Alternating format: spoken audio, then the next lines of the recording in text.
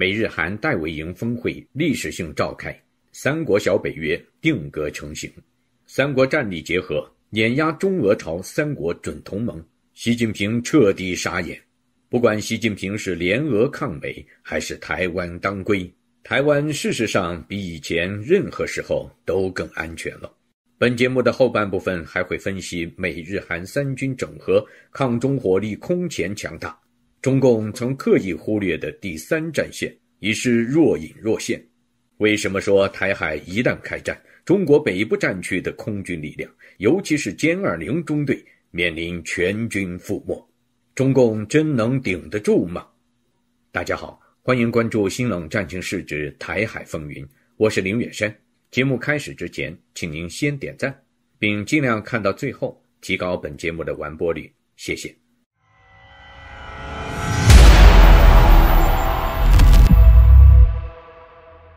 说起戴维营啊，给我印象最深刻的是下面这张照片。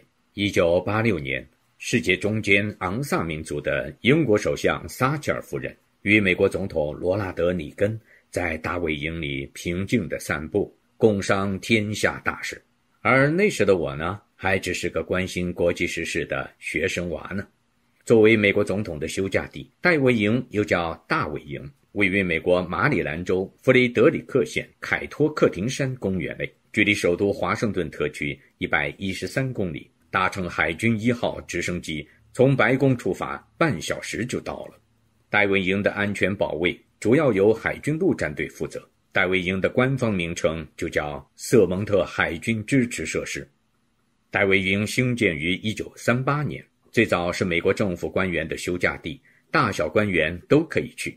一九三二年起，成为患有小儿麻痹症的美国总统小罗斯福的专用疗养所以及总统官邸。当时的戴维营还不叫现在的名字，而是有一个很诗意的名字——香格里拉，因为它掩映在茂密的森林之中。于是，罗斯福总统根据一九三三年英国作家詹姆斯·希尔顿的小说《消失的地平线》，给他取了这个颇具异域风情的名字。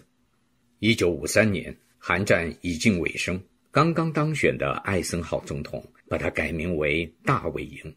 为什么呢？因为总统大人的父亲以及孙子都叫大卫 （David）。戴维营经常作为美国总统与其他国家领导人之间正式或非正式的会谈地点。能来这儿混的都是有头有脸的大人物，这叫做低调的奢华。这美国总统的避暑山庄就相当于普京的索契，习近平的北戴河，法国总统的兰特里别墅，或者英国首相的哈灵顿湖。八十五年间，这里见证了许多影响世界的大事。一九四三年，时任英国首相温斯顿·丘吉尔和美国总统罗斯福在戴维营密谈，敲定了诺曼底登陆计划。一九七八年。在美国总统吉米·卡特的积极斡旋下，埃及总统萨达特与以色列总理贝京签署了戴维营协议，两国宣布停战，两人因此同获当年的诺贝尔和平奖。时间来到了二零二三年上周五八月十八日，戴维营迎来了足以载入史册的另一件大事：拜登、岸田文雄、尹锡悦，美日韩三国首脑。再次举行历史性峰会，签署了三项合作文件。这不但引起了全世界的关注，也引发了北京当局的高度警觉，戳中了中国那根敏感的神经。北京当局一再警告说，美国正试图在东亚复制一个小北约，遏制中国。而现在的局势演变已经非常明朗，习近平不作不死，求锤得锤，噩梦已经一步步梦幻成真了。换句话说，美日韩完全不顾中国的感受，公开结成围堵中国的小圈子。法国《世界报》的社论强调，在中美两国都在寻求巩固各自阵营的背景下，此次峰会无疑是一次外交上的成功。日韩两国在新的世界格局之下，终于摒弃历史恩怨，携手形成三位一体的军事同盟。在我看来，戴维营峰会的核心成果就是所谓的危机协商承诺。任何一方一旦遇到意外、危急状况，三方立即启动紧急协商，帮助受威胁的一方解除危机。这个危机协商承诺虽然还没有达到北约条约第五条的要求，规定盟国有义务在任何成员国受到攻击时立即采取军事行动，但已经无限接近于北约第五条的集体防卫原则。中国官媒《环球时报》酸不溜秋的在一篇社评中指责美国忽悠日韩，打响了新冷战的第一枪。新华网则说，美国在亚太地区拉帮结伙，戴维营发出的冷战气息让世界顿觉寒意。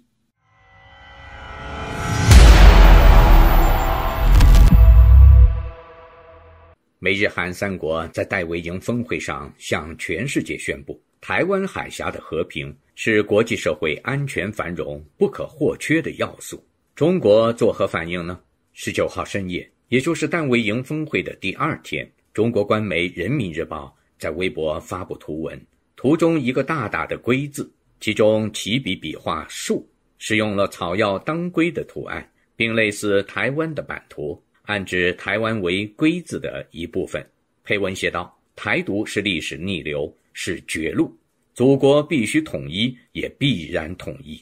台湾当归一帖迅速登顶微博热搜，仅二十号一天的阅读量已超过十二点七亿，十六点六万人参与讨论。虽然微博下一片喊打喊杀，但我想说的是，不管是习近平积极推行联俄抗美，还是人民日报歇斯底里的狂吠，台湾其实是越来越安全了。我完全同意日本产经新闻驻台北支局局长石坂明夫的以下分析：在东北亚地区，几十年前就有美日军事同盟，其假想敌主要是苏联；也有美韩军事同盟，其假想敌是朝鲜。但是，今天的国际形势发生了重要的变化，旧的两个军事同盟明显不够用了，因为在东北亚地区。出现了新的假想敌中共国，可以说，今天成立的新三国同盟就是为了对付中共国而产生的。说的再具体一点，是为提高中共国对台动武的代价而产生的。稍早前，日本前首相麻生太郎来到台湾，在与中华民国总统蔡英文一起出席凯达格兰论坛时，发表演讲称，日美台要做好战斗的心理准备。如果台海有事，日本会使用防卫的力量。麻生太郎的话应该是意有所指的，在为台湾打气的同时，也在向北京的习近平政权发出警告：千万不要轻举妄动，我们已经开始行动了。麻生是自民党的副总裁，如此重大的发言，事先一定得到了日本首相岸田文雄的同意。他的发言内容和戴维营三文件遥相呼应。所以，国际形势正在急剧变化，在东北亚联合对抗中共霸权的新格局已经开始形成。今天的峰会之后，应该可以这样说：台湾越来越安全了。不知观众朋友对此怎么看？欢迎给我们留言讨论。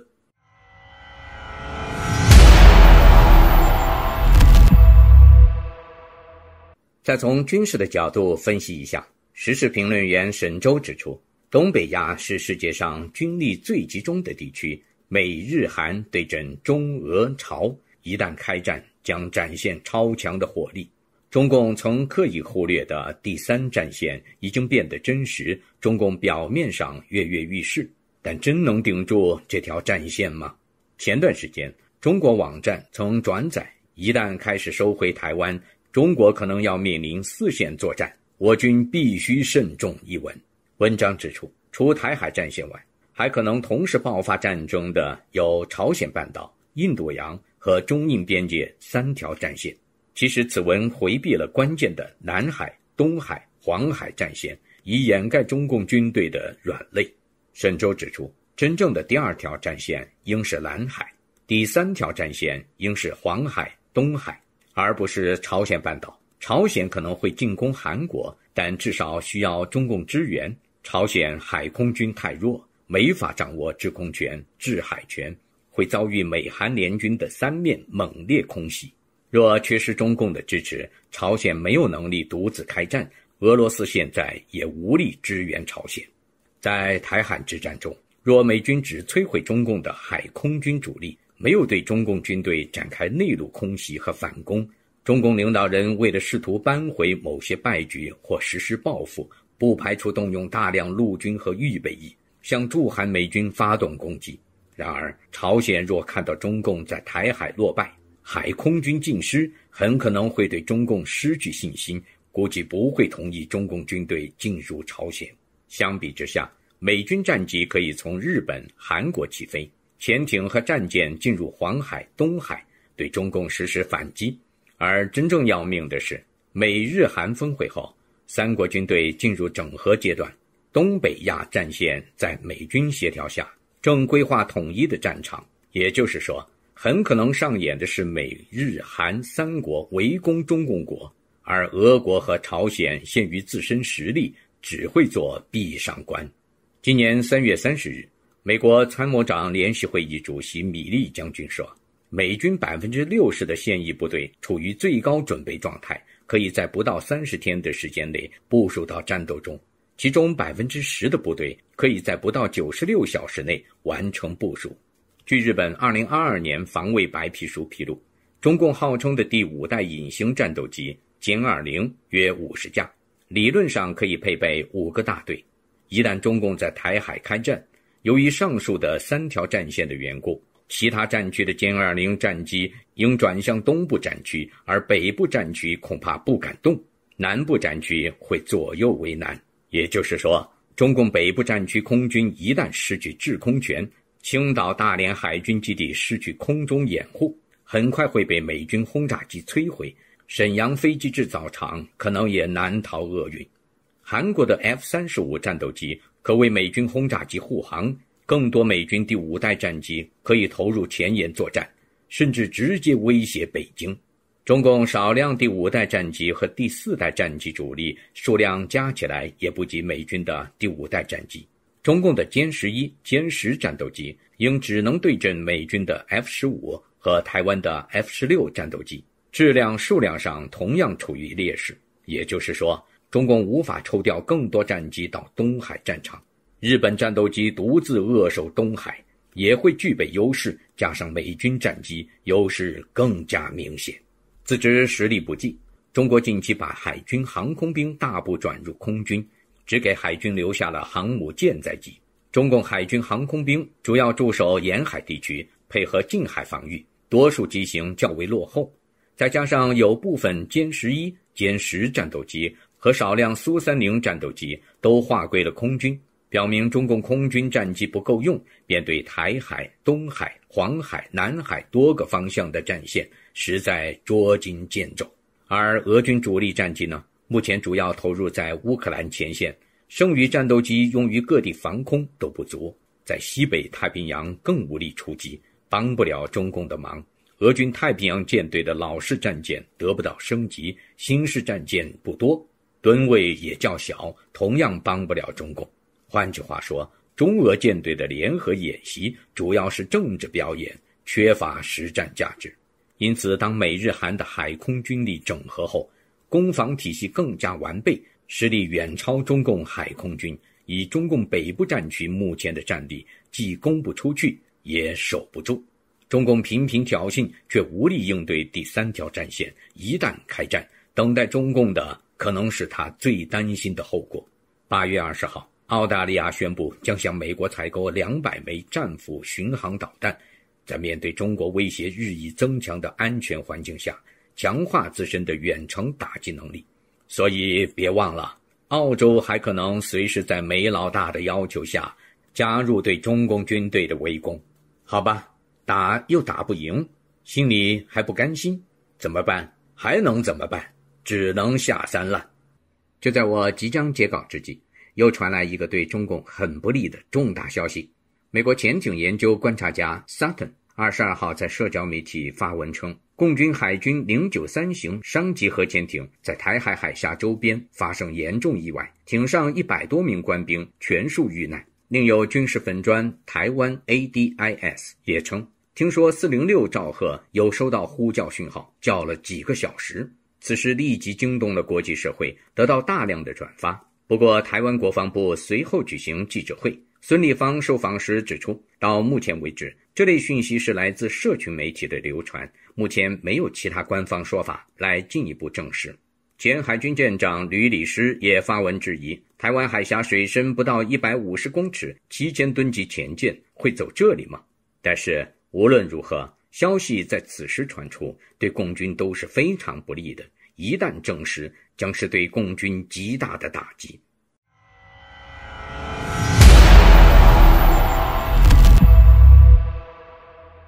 当然了，中共哪甘示弱呢？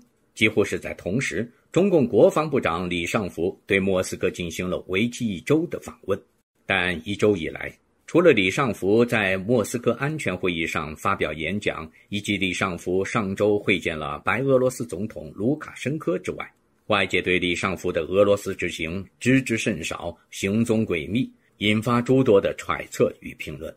李尚福第一次访俄是他担任防长不久之后的四月十六号。除了会晤俄罗斯国防部长绍伊古，还在克里姆林宫受到普京罕见的高规格款待。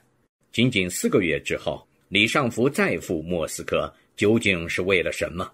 就在李尚福即将出访之际，就有时政评论人士发推质疑：一、出发了，坐上飞机才对外公布；二、莫斯科这场会议之前并未公开；三、要见绍伊古，还要见谁？语焉不详。